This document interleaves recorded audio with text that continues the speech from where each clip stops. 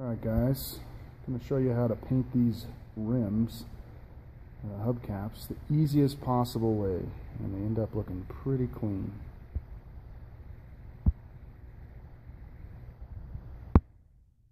What do we got there? Now I've spray painted the inside of the lettering and I'll show you what we do next here. Alright guys, I'm going to show you how to do this here. I have crafted a stick, a flat stick, with uh, wrapped with paper towels. I'm going to put just a teeny bit of the paint thinner on it, tiny, tiny bit. If you use too much, it'll be dripping down in between the letters. Right there, I think I used a little too much. Now I just take it real slow.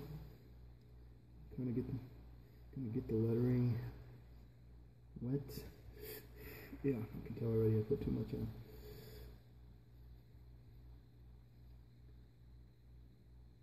Just really gotta take your time with this. We also have to repaint it again and start from the beginning. Hope you guys can see okay. I got my phone set up in the most awkward position possible.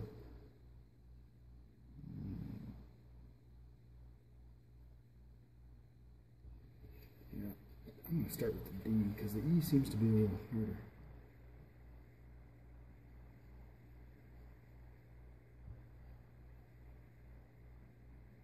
Very slowly and with no pressure.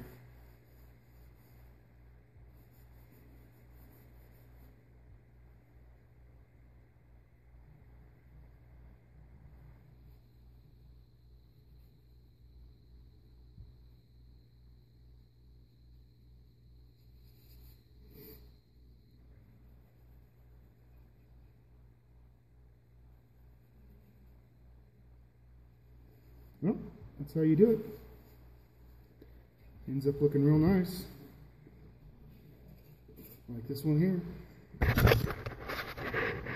Alright guys, signing off.